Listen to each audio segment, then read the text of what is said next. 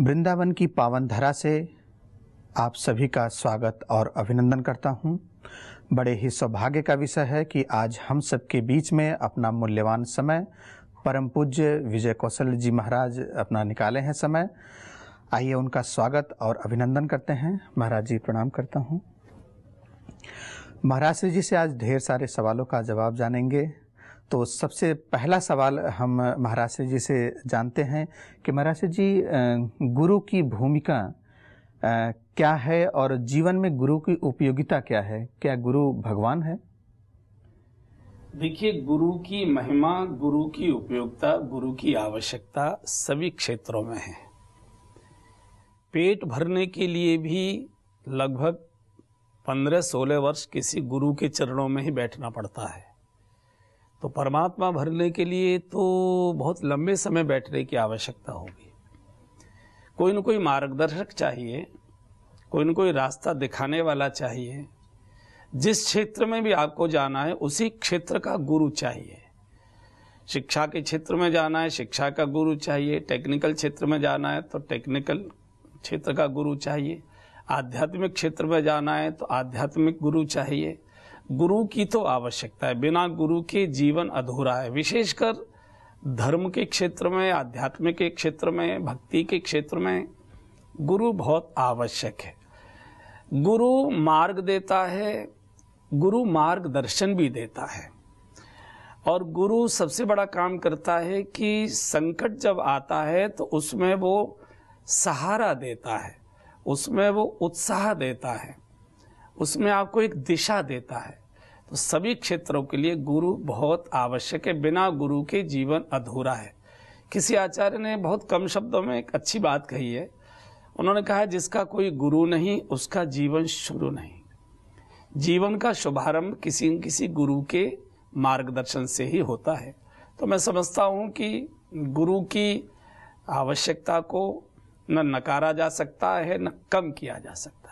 लेकिन एक बड़ी समस्या है महाराज जी कि लोग गुरु का चुनाव कैसे करें? देखिए गुरु का चुनाव नहीं होता। आध्यात्मिक क्षेत्र में अगर बात करें।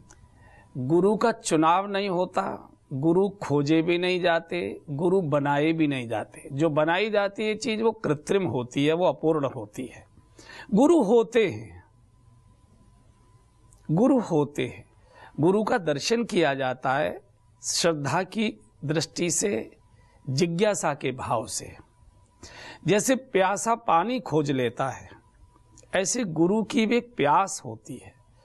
वो गुरु को खोज लेती है गुरु को ढूंढ लेती है। अब एक प्रश्न आता है कि कैसे माने कि ये ही गुरु हैं इन्हीं को ही बनाना चाहिए? क्योंकि इस दिशा में कई बार धोखे भी हुए हैं धोखे भी हो रहे हैं। फिर अनेक प्रकार की टिप टीका टिप्पणियाँ भी गुरुओं पर होने लगी हैं। जिसके पास बैठकर मन शांत होने लगे, जिसके पास बैठते ही बिना बोले हमारे प्रश्नों के समाधान होने लगे। हम कई प्रकार की समस्याएँ सोच कर गए थे, लेकिन वो वार्ता में बिना हमारे कहे समस्याओं का समाधान मिलने लगे, जिनके पास बैठकर मन पवित्रता का अनुभव करने लगे, जिनके पास बैठकर ये विश्वास जगने लगे कि अगर इनकी कृपा हो जाए तो मुझे भी भगवत मार्ग मिल सकता है। जिनके पास बैठकर अपना सब कुछ उगलने की इच्छा होने लगे जिनके पास बैठकर भगवत भजन की प्रेरणा होने लगे और दुर्गुण छोड़ने का संकल्प जगने लगे मैं समझता हूँ उन्हीं चरणों का आश्रय ले लेना चाहिए। फिर वो कितने पढ़े लिखे हैं कितने शिक्षित हैं कितने योग्य हैं कितने गुणवान हैं किस जाति के हैं किस लिंग के हैं इसमें न जाकर ये अगर संकेत अपने मन में आते हैं तो फिर उन्हीं का मार्गदर्शन लेना चाहिए वही हितकर होगा। ये तो गुरु की बात होगी महाराज जी। अगर शिष्य की बात करें तो शिष्य के कर्तव्य क्या होने चाहिए उनकी भूमिका किस तरीके से आप देखते हैं? शिष्य का एक ही कर्तव्य है और एक ही भूमिका है कि वो समर्पित हो जाए। अगर हम अपनी बुद्धि की योग्यता से पहले गुरु को ठोक बजा कर देखेंगे। कोई कहावत भी कहता है कि दो रुपए का घड़ा खरीदा जाता है तो बीस बार बजा कर देखा जाता है। जिसको जीवन भर, जिसके साथ चलना है तो उसको तो बहुत ठोक बजा कर देखना चाहिए। ये कहावत गलत है। घड़ा ये जड़ है। घड़ा बजा कर देखा जा सकता है, चटका तो नहीं है। गुरु चैतन्य है। और चैतन्य की परीक्षा कोई बुद्धि नहीं ले सकती है। चैतन्य की परीक्षा चैतन्य का अनुभव ये तो आत्मा करती है। तो गुरु की जो योग्यता हो, वो तो एक अलग विषय है। लेकिन शिष्य की केवल एक योग्यता है कि वो नेत्र बंद करके समर्पित हो जाए। जहाँ ले चलोगे, वहीं मैं चलूँगा। जहाँ नाथ रख लोगे, वहीं मैं रहूँगा। किसी प्रकार का क्या क्यों कैसे? ये प्रश्न न उठे। तो वो शिष्य पूर्ण भूमिका का शिष्य माना जाता है और उसी के ऊपर कृपा होती है। गुरु की कृपा ऐसे ही शिष्य ऐसे शिष्य पर होगी।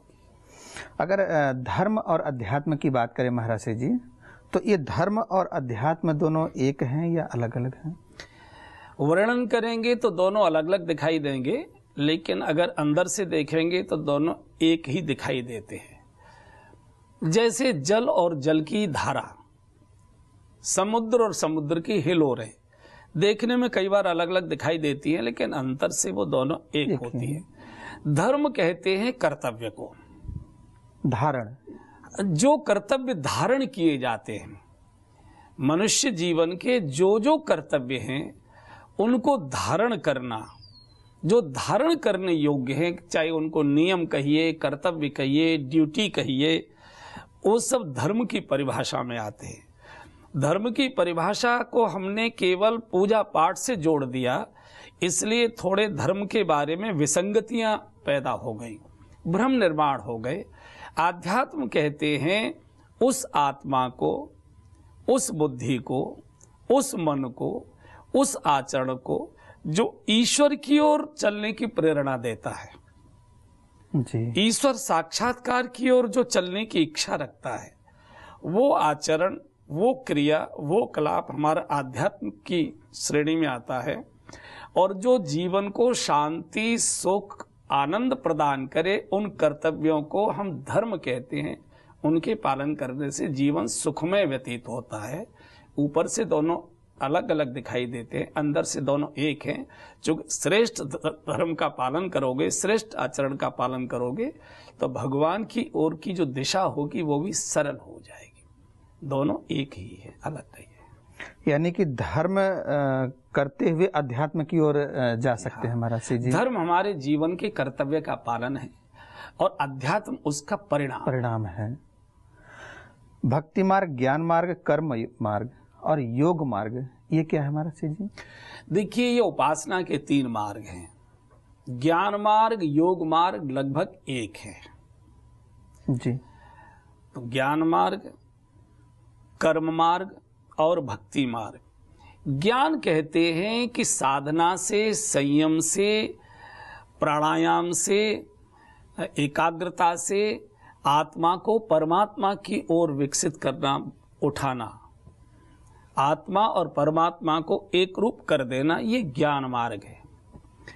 कर्म मार्ग है सामान्य गृहस्थियों का कि अपने गृहस्थ आश्रम का धर्म के संरक्षण में कर्तव्य का निर्वहन करते जाना गृहस्थाश्रम का पालन करते जाना जो जो जिसके कर्तव्य है पुत्र का कुछ कर्तव्य है पिता का कुछ कर्तव्य है भाई का कुछ कर्तव्य है पति का कुछ कर्तव्य है पत्नी का कुछ कर्तव्य है सेवक का कुछ है स्वामी का कुछ है।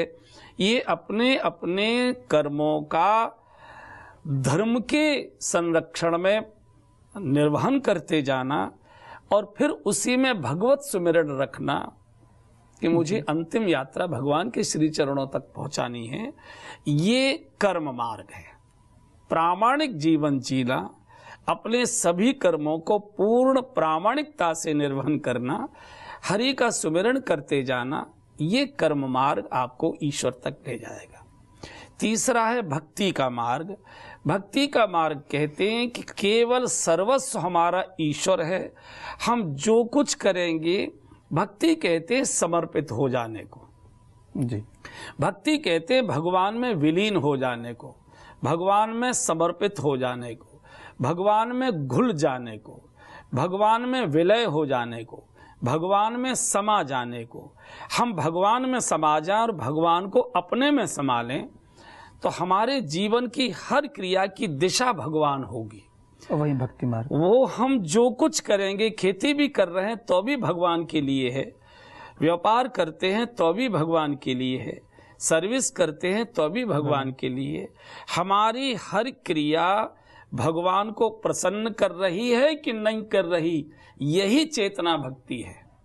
हमारा हर कर्म हर क्रिया भगवान को प्रसन्नता अगर प्रदान कर रही है तो वो भगवत समर्पित जीवन माना जाता है और वही भक्ति है। ये थोड़ी रसीली है ये थोड़ी सरस है ये थोड़ी सरल पड़ती है। इसमें श्रम कम है। इसमें थोड़ा आनंद ज़्यादा है, इसलिए लोग भक्ति के मार्ग को पसंद करते हैं। गाकर नाच कर रो कर पुकार कर रिझा कर ये सब मार्ग भक्ति के मार्ग हैं। भक्ति का केवल एक ही अर्थ है कि ये न के प्रकार भगवान के चरणों में विलीन हो जाना समर्पित हो जाना भगवान में डूब जाना। भक्त का अर्थ है जो एक क्षण भी भगवान से विभक्त नहीं है उसकी हर क्रिया भगवान को प्रसन्न करने के लिए होती है यही भक्ति है। अगर इन तीन मार्गों के अलावा अगर संप्रदाय की बात करें महाराज जी तो संप्रदाय किसे कहते हैं और वैष्णव में कौन कौन से हैं अलग अलग जो संप्रदाय? देखिए आज के परिप्रेक्ष्य में संप्रदाय शब्द थोड़ा सा हीन भाव भावना से जी हाँ, जी। देखा जाता है। संप्रदाय बहुत श्रेष्ठम श्रेष्ठतम शब्द है। संप्रदाय कहते हैं कि हमारे पूर्व आचार्यों के द्वारा सम्यक रीति से प्रदान किया गया ज्ञान जो परंपरा से आगे तक जाता है उसको संप्रदाय कहते हैं। लेकिन आज इसका रूप महाराज जी अलग आज क्या है कि हर चीज़ पर राजनीति हावी है।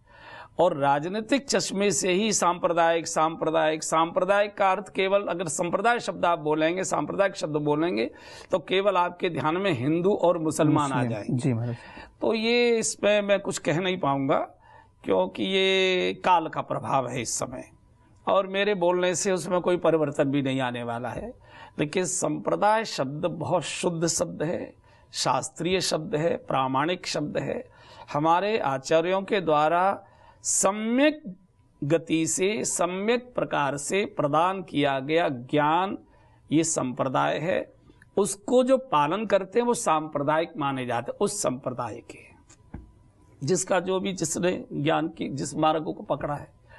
वैष्णव आचार्यों के बारे में आपने पूछा है तो रामानुजाचार्य हैं वैष्णवों में, निम्बार्काचार्य हैं वैष्णवों में, रामानंदाचार्य हैं वैष्णवों में वल्लभ संप्रदाय वैष्णवों में चैतन्य महाप्रभु का गौड़िया संप्रदाय चार संप्रदाय जिनको बोलते हैं ये सभी वैष्णव संप्रदाय जिसको जो धारा अच्छी लगती है जो घाट अच्छा लगता है उस पर स्नान करता है गोता तो गंगा का है। घाट अलग अलग, अलग, अलग हो है। सकते हैं लेकिन गंगा के ही वो घाट है इसलिए इनको हे भाव से नहीं इनको बहुत उच्च भाव से देख देख सकते परिवार में रहते सामान्य व्यक्ति महाराज जी भक्ति कैसे करें? देखिए, भक्ति और परिवार संचालन ये अलग अलग नहीं है। जिस परिवार में हम हैं, उस परिवार के प्रत्येक सदस्य के प्रति हमारे मन में संवेदन भाव चाहिए, प्रेम का भाव चाहिए, श्रद्धा का भाव चाहिए, दूसरे को सुख देने की कामना का भाव चाहिए कि मैं दूसरे को अधिकतम कैसे सुख दे सकता हूँ। तो आप जिस स्तर पर हैं आप उसी स्तर से इन नियमों का पालन करिए। हम बेटे हैं तो पिता को सुख कैसे दे सकते हैं? माँ को कैसे सुख दे सकते हैं? भाई को कैसे सुख दे सकते हैं? हम पिता हैं तो सारे परिवार के छोटे बड़े सबको सुख कैसे दे सकते हैं? सबको सुख प्रदान करना, सबके प्रति संवेदनशील रहना, सबके दुख में दुख की अनुभूति करना और सबके सुख में प्रसन्नता व्यक्त करना यही परिवार संचालन का सर्वश्रेष्ठ सूत्र है। हम अपने दुख का रोना रोते हैं और दूसरे के सुख से ईर्ष्या करते हैं। चाहे परिवार हो, चाहे समाज हो, फिर उसमें कलह होती है, वो समाज और परिवार टूटता है। तो दूसरे के सुख में सुखी होना और दूसरे के दुखी में संवेदना रखना, दुखी होना, ये परिवार को भी जोड़ता है और ये समाज को भी जोड़ता है।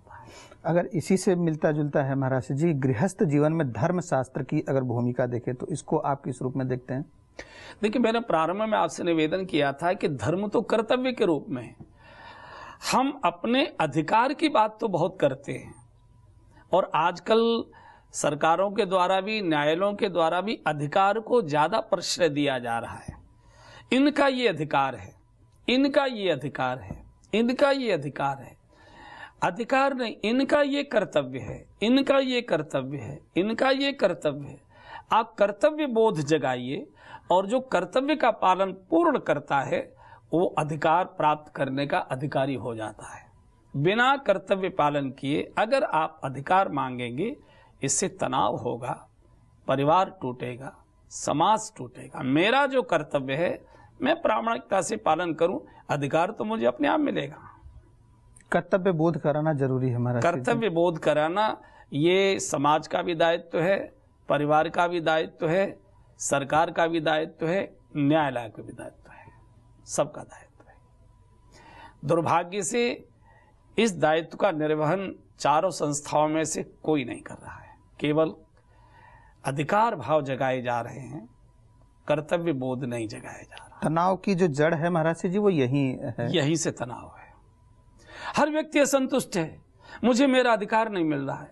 मुझे मेरा अधिकार नहीं मिल रहा है। मैं इतना सब कर रहा हूँ, लेकिन मुझे कोई वेट नहीं दे रहा है। मुझे कोई सम्मान नहीं दे रहा है। हम सबकी चिंता कर रहे हैं, हमारी कोई चिंता नहीं कर रहा है। हम सबको सुख दे रहे हैं, हमको कोई सुख नहीं दे रहा है। तो ये आदमी भूखा है, भूखा रहता है, ऐसा व्यक्ति अभावग्रस्त रहता है, रोता रहता है, इसके आँसू विधाता भी नहीं पहुँच सकता। जो कर्तव्य करता है, वो कभी अधिकार के लिए मांग नहीं करता। जो कर्तव्य नहीं करता वो अधिकारों के लिए धरने देता है। इस ये सिद्धांत है। अगर साधक और साधु और संत में अंतर करें महाराज जी तो कैसे है अंतर ये? देखिए शब्द बड़े सरल हैं। साधक कहते हैं जो साधना का प्रयत्न कर रहा है जो सध रहा है सधने के मार्ग पर चल रहा है।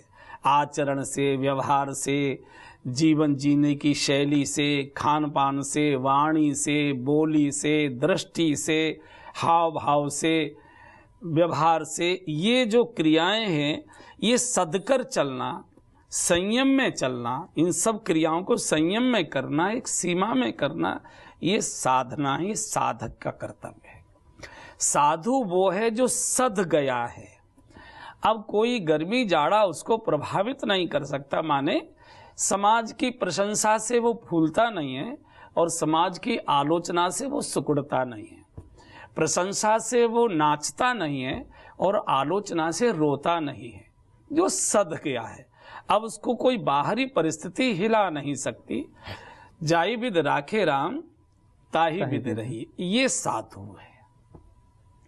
दूसरे साधु कहते हैं जो व्यक्ति से वस्तु से और विषय से प्रभावित नहीं होता।